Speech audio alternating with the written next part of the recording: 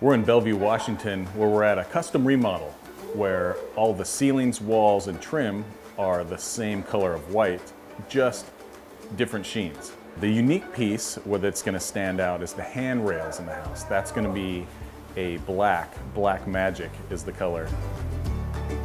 The handrails currently have a clear coat on them, more of a semi-gloss to gloss look to them. So we'll want to scuff that up, we'll want to sand it, remove any debris and most of the gloss. Because we're using a tinted lacquer, uh, we can go on top of the lacquer product before. Once we sand that up, uh, give it a surface to attach to, then we'll spray our first coat of lacquer on there.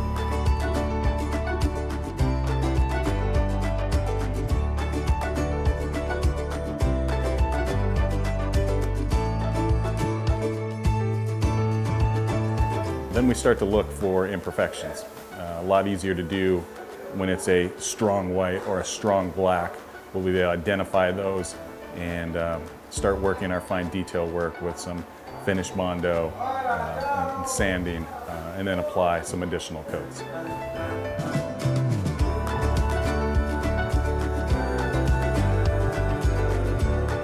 And once we've sprayed the lacquer on the handrails, we'll mask it off and protect it, and then spray the balusters the trim white color.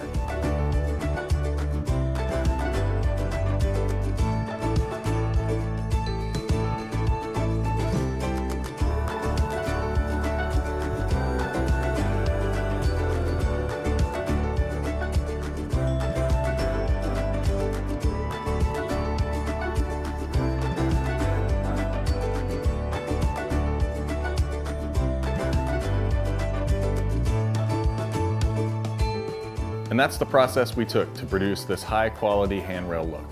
Thanks for joining us.